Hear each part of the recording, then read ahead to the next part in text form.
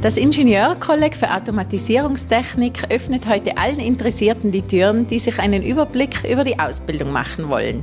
Und wenn ich so einen Haufen Knöpfe sehe, da juckt es mir einfach in die Finger und da muss ich jetzt mal ausprobieren, was passiert.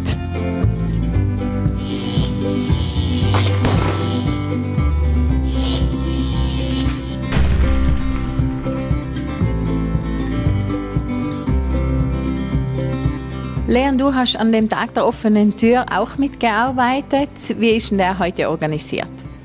Ähm, also wir haben uns für den Tag der offenen Tür äh, verschiedene Stationen äh, quasi aufgebaut, äh, die wo quasi über den ganzen Bereich des, äh, der Automatisierungstechnik quasi gängen.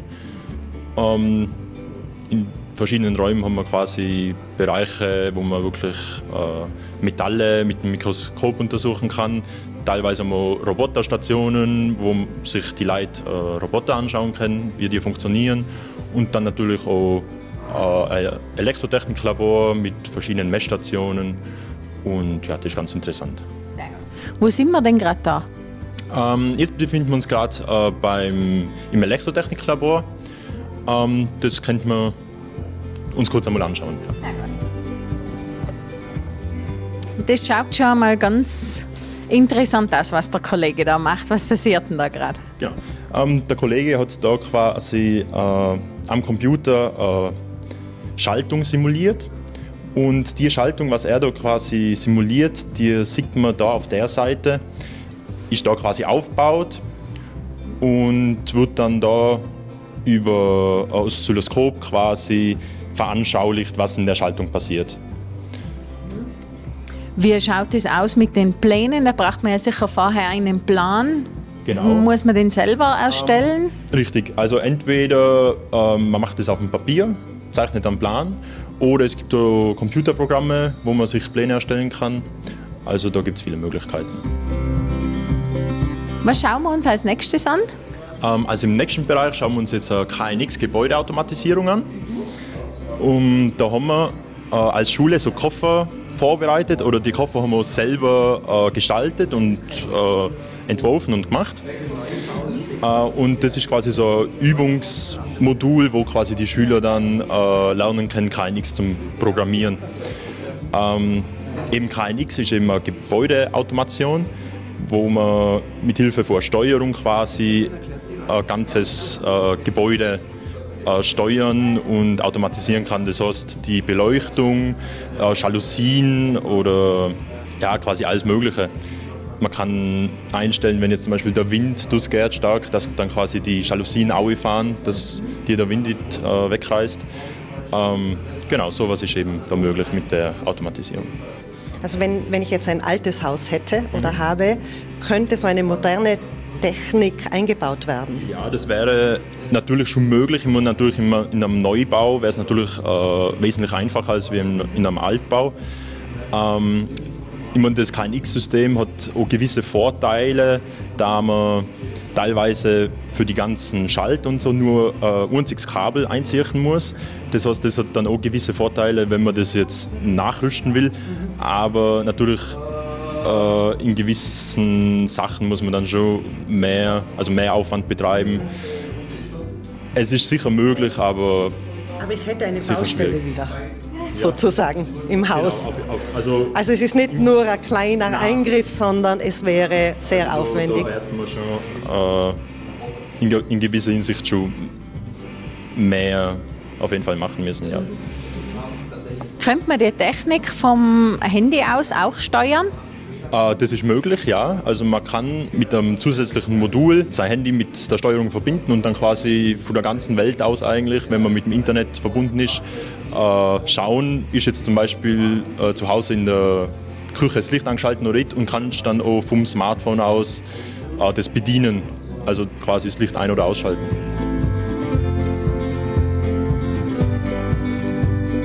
Also für mich ist ja das IKA eine völlig neue Schule in meinem Aufsichtsbereich.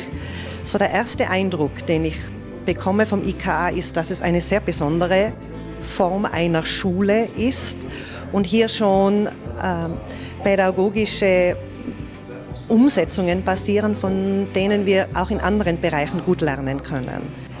Was ich hier erlebe, ist auch, dass wir Schüler nicht nur aus dem Bezirk haben, sondern aus Vorarlberg, aus Salzburg, aus anderen Teilen Tirols. Und eine andere Besonderheit ist, dass wir Schüler, wir sagen zwar Schüler, aber dass es Menschen sind, die über 18 Jahre alt sind und es ein gutes Beispiel ist, was bedeutet lebenslanges Lernen und was bedeutet es, sich ständig weiterzubilden. Und von dem her bin ich sehr beeindruckt. Ja, wir machen da einen, einen, einen Heat Tower, dass wir herausfinden können bei Höhe und Temperatur, dass wir das Filament am besten drucken können. Also da, je weiter das aufgedruckt, je geringer wird die Temperatur und dann findet man halt das, das beste Setup. Was testet ihr da gerade? Ja, das ist jetzt die Funktion Teach and Play von dem Roboter. Da ist es eben so, dass also übers Display kann man das eben einstellen, dass das Gelenk da locker wird. Und ja, dann können eben die Positionen abgefahren werden und auch eine Pumpe kann eingeschaltet werden, damit eben die Klötze bewegt werden. Und der läuft dann das Programm dann wieder ab, also der spielt das wieder ab. Das wäre eine Funktion. Und ja, also jetzt fährt er gerade in die Grundposition wieder, weil jetzt haben wir eben das Programm gewechselt und fährt wieder seinen Bereich ab. Ja, sein tut es ein ziemlich einfacher Roboter mit zwei verschiedenen Achsen. Also der hat eben einmal die Z-Achse, wo er rauf und runter fährt und die Achse mit der XY abfahrt. Und ja, in dem Fach Robotik beschäftigen wir uns hauptsächlich mit der Berechnung momentan, also für die verschiedenen Koordinatensysteme.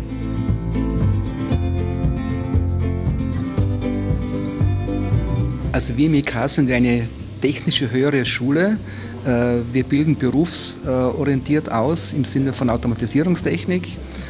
Äh, die neuen Schwerpunktfelder sind ganz klassisch Robotik, Automatisierung, Digitalisierung. Das sind, denke ich, die Themen, die in Zukunft in der Industrie, Wirtschaft und in der Gesellschaft von großer Bedeutung sind. Und wir versuchen eben, äh, Techniker, Technikerinnen für diese Arbeitsfelder auszubilden. Wie lange dauert die Ausbildung am IK? Die Ausbildung dauert äh, unterschiedlich lange. Einerseits für Facharbeiter fünf Semester und für andere Besucher, Besucherinnen, sprich Fachschüler und Maturantinnen und Maturanten vier Semester. Welche Kriterien überprüfst du da gerade? Also wir schauen ein Gefüge an von verschiedenen Wertstücken. Immer Gefüge wäre ja innerer Aufbau und die Struktur eben. Und ja, da können die Besucher eben das Gefüge anschauen von verschiedenen Materialien, auch Metallen. Demi hat dann auch verschiedene Sachen dabei. So eingebettete Metalle, zum Beispiel verschiedene. Und eben da hat der Messingrohr und ja, eben da, die haben alle ein anderes Gefüge und das, da kommt jedes Mal was anderes raus. Die Zielgruppen sind bei uns sehr differenziert und unterschiedlich und heterogen. Äh, wir versuchen also einerseits äh, Facharbeiter anzusprechen, äh, die eine technische Lehre absolviert haben. Wir versuchen Fachschüler anzusprechen, die in HTL sind und keine Matura gemacht haben. Und natürlich auch Maturanten von Gymnasien zum Beispiel, die sich im technischen Bereich fortbilden wollen. Also eigentlich ist der Zugang zu uns für alle Gruppen möglich. Wir werden in Zukunft auch noch, und das ist eine neue Idee, ein Angebot schaffen, das sozusagen auch eine berufliche Umschulung für Nicht-Techniker möglich ist, indem wir ein Semester noch voranstellen und zum Beispiel könnten dann auch als Beispiel Bäcker oder Köche äh, dann sich zu Technikern im HTL-Bereich ausbilden lassen. Dominik, woran arbeitest du da gerade? Also das ist jetzt ein Winkelscharnier für eine Tür zum Beispiel. Äh, wir lernen quasi den Aufbau vom Grund her, von den einzelnen Komponenten und fügen die miteinander zusammen. Und die kann man jetzt auch beweglich gestalten. Passiert auf dem Papier überhaupt nichts mehr? Nein, eigentlich so gut wie, wie gar, gar nicht mehr. Das ist eigentlich alles mit digital, weil man da viel viel mehr Möglichkeiten hat. Welche Programme äh, kommen da zum Einsatz? Also wir haben das Fusion 360 und das Inventor nehmen wir einige her. Also wir sind ja als IK heute äh, eine lernende Schule, das heißt für uns ist das ständige Weiterlernen in allen Bereichen sehr, sehr wichtig. Äh, wir haben zurzeit drei große Themenfelder, die wir bearbeiten wollen. Einerseits äh, geht es uns darum, wie können wir noch das Lernangebot äh, so gestalten, dass Lernen für unsere Erwachsenen Sinn macht. Das heißt, Lernen in Projekten, Lernen in unterschiedlichen äh, Geschwindigkeiten, Herausforderungen, Themenfeldern. Das Zweite, wir wollen uns auch thematisch erweitern, das heißt neue Inhaltsangebote bieten. Wir haben jetzt das Fach Robotik äh, vermehrt dazugenommen, das wir ausbauen wollen, weil die digitalen Fragen in Zukunft einfach entscheidend wichtig sind.